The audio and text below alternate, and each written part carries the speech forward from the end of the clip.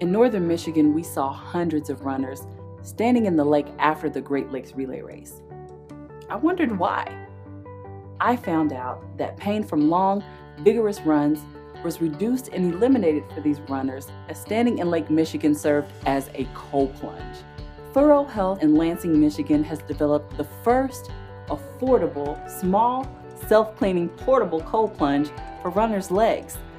Simply fill it with a garden hose, plug it in, and set your chosen temperature. It's small enough to fit inside or out and is cleaned with ozone sanitizing bubbles, so there are no dangerous chemicals in the water. It works with the standard 110 volt 15 amp outlet. Use it anywhere. Take it with you on a running event and plug it into a small generator. Run hard, then resolve the pain and discomfort, and run again. Also, check out our hot soakers at furohealth.com. 888 364 8827.